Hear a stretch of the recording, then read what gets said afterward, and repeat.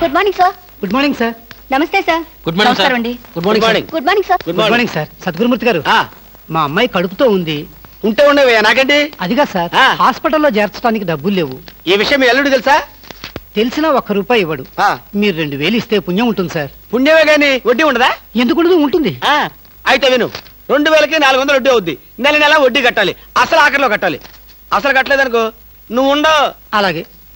Good morning sir good morning Good morning, sir. Good morning good morning sir good morning నమస్కారం sir good morning sir good morning నమస్తే, hello good morning sir కూర్చో good morning sir hello hi good morning sir morning good morning sir hello good morning sir పర్లేదు పర్లేదు పర్లేదు కూర్చో కూర్చో కూర్చో కూర్చో గౌరవం అనేది గుండెల్లో ఉండాలి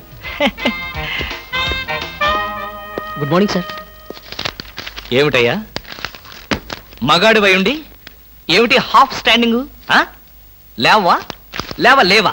వెన్నుముక ఏమన్నా డిఫెక్టా ఎర్త్ అయిపోతావు జాగ్రత్త. Sorry sir good morning sir good morning good morning good morning ఏమిటి హేమ? కొత్తగా పెళ్ళైంది ఇంకొంతకాలం ఉన్న జాలీగా గడపక అప్పుడే వచ్చేసావా? సరే ఫైలు. ఫైల్కి ఏమైందయ్యా? ఇంపార్టెంట్ విషయం మాట్లాడుతుంటే బాధలకి సారీ సార్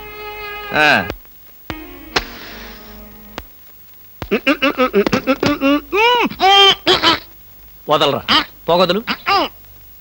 కాదు. వదలకపోతే నవరంధ్రాల నుంచి బయటకు వచ్చి చస్తావు. ఆఫీసులో ఎవరు సిగరెట్ వెలిగించకూడదని చెప్పానా? అందుకనే కదా సార్ బయట వెళ్ళి లోపలికి వచ్చాను. నోర్మి. నీ చక్రవడ్డీ వేషాలు నా దగ్గర కాదు. ఎరా? ఆఫీస్కి ఎన్ని గంటలకు రావాలి? తొమ్మిది గంటలకి. నువ్వెన్నింటికి వచ్చావు మీకంటే ముందు వచ్చాను సార్. ఏడిచావు. నేను అడిగింది నా గురించి కాదు. నీ గురించి. నువ్వెన్ని గంటలకు వచ్చావు? తొమ్మిది గంటల పది నిమిషాలకి. అంటే పది నిమిషాల ఆలస్యం. ఆఫీసులో ఒక మనిషి ఒక సెకండ్ లేట్గా వస్తే ఆరు రూపాయల నష్టం. అంటే నిమిషానికి ఎంత. గంటకెంత. రోజుకెంత?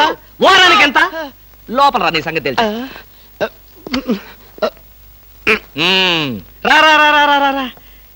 ఏమిట్రా అలా భయపడతావు రాస్కల్? చిన్నప్పటి నుంచి మన ఇద్దరం కలిసి పెరిగాం కదరా. ఒకే స్కూల్లో ఒకే క్లాస్లో ఒకే బెంచ్లో కూర్చుని మరీ చదువుకున్నాం కదా.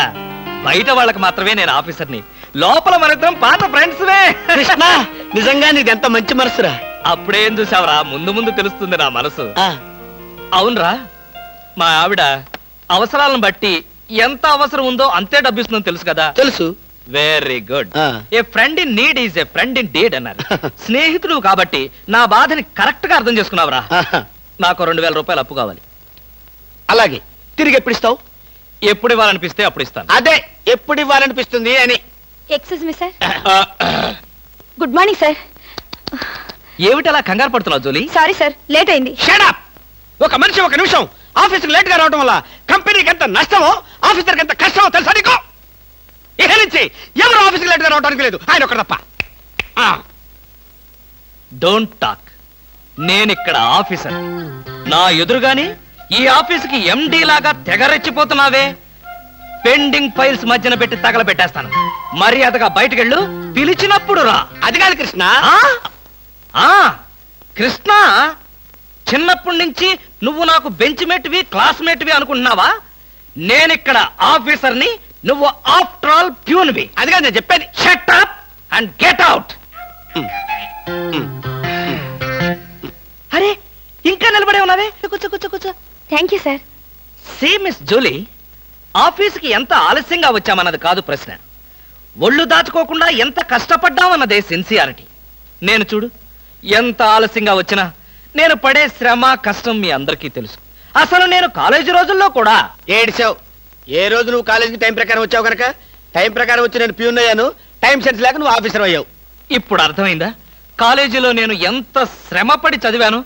ఎంత కష్టపడి పరీక్షలు రాశాను? ఏంట్రా నువ్వు రాసి చచ్చింది? కాపీలా దీన్ని బట్టి జీవితంలో ఎలా పైకి రావాలో నీకు అర్థమైందిగా? వెళ్ళు బాగా కష్టపడు పైకి రా. పైకి రా! నీకు అర్థమైనట్లేదు? వెళ్ళు. It's all right